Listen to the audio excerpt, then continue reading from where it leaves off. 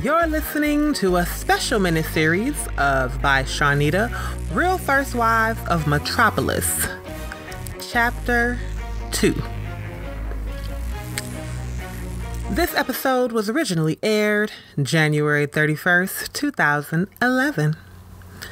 Kendalynn places the stack of plates on a buffet and counts to make sure that everything needed for a pleasant meal is on the table or near the food. The doorbell rings. She runs a hand over the front of her shirt as she leaves the dining room and goes through the living room toward the door. Lord, help me represent you well. Jesus' name. Let's do this. Kendalynn inhales and releases a deep breath, then opens the door. Well, hello, ladies. Good to see you again, Carmandi and Patronda. Please come in. Let me take your coats. Carmandi pulls her gloves off and places them in the pockets of her blush pink wool pea coat before handing it to Kendalynn. Patronda hands her fur faux to Kendalynn and stands next to Carmandi as Kendalynn hangs them up in the closet.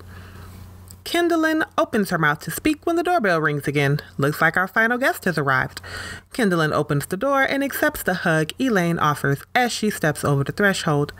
Hi, Elaine. You're just in time to walk with us all to the dining room as soon as I hang your coat up.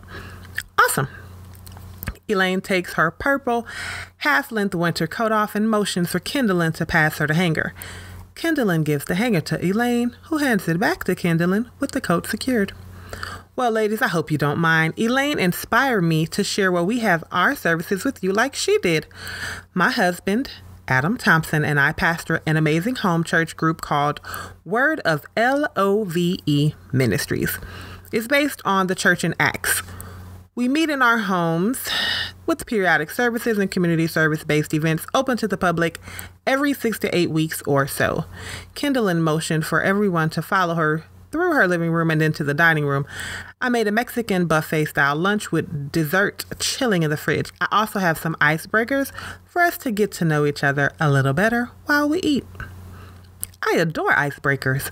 Elaine flashes a big smile at each of the ladies. The buffet looks great. Let's pray and dig in. Great idea, Elaine. Why don't you lead us in prayer? Kendalynn nods and stretches her hands toward Patronda and Carmandi, standing next to her right inside the entrance of the dining room, next to the buffet. Elaine nods and blesses the food. Carmandi and Patronda look at each other and then back to the buffet table. So we're serving ourselves? Patronda takes a hesitant step towards the end of the table without the plates. Kendalynn and Carmandi point toward the plates at the other end. Thanks. I enjoyed the informal feel Elaine started off with and wanted us to really relax and get to know each other. We're going to be seeing a lot of each other doing this show, and I think it'll go better if we all know something about each other. Kendalynn picks up a plate behind Carmandi and begins compiling a taco salad. That is very smart. I have to admit, I've watched some of those other reality shows about wives, and a lot of the times I think the women would get along better if they were better acquainted. They are all very pretty, though. Elaine places her plate in front of a chair and retrieves a bottle of water from the table before sitting down next to Kendalynn. Patronda walks back to the table and sits next to Elaine. Carmandi walks back and sits between Patronda and Kendalynn. I did catch one of them. Good thing Cheers TV created this show. Women should be allowed to watch as many options as possible. When my husband told me about the opportunity, I knew it was something I wanted to do. Carmandi mixes the salad in her bowl. I prayed for a while before I agreed. My law practice and community advocacy work takes up a lot of time. If the answer from God hadn't been so clear, I would have been able to say no with a clear conscience. Kendalynn sips tea from a frosted glass. You mean God talks to you? Patronda raises one eyebrow at Kendalynn, then looks at Carmandi and Elaine. He does, in my heart, but I'm referring to a discussion my husband and I had. Kendalynn picks up a legal pad next to her plate and flips the page over. So, questions is the first icebreaker. We'll all go around the table and answer one question we pick from the basket in the middle of the table. Oh, I love this game. Can I go first? Elaine leads forward to see the basket. yeah. Kendalynn chuckles. Go for it. Elaine reaches into the basket and pulls out a small, folded up piece of paper. She unfolds the paper. My least favorite color is peach because when I wear it, I disappear. It's too close to my skin color. Carmandi almost spits her drink out. She shakes her head and smiles. Her hand reaches into the basket. Her piece of paper is half folded and she opens it with one hand. My least favorite kind of music is gangster rap because they are so mean to each other, and I think that people can resolve their issues without using violence and bragging about it is tacky. Are you serious? You cannot be serious. Kendalynn places her fork to the right of her plate. Yes, I don't think holy hip hop is bad, just gangster rap. I don't blame it for the downfall of society.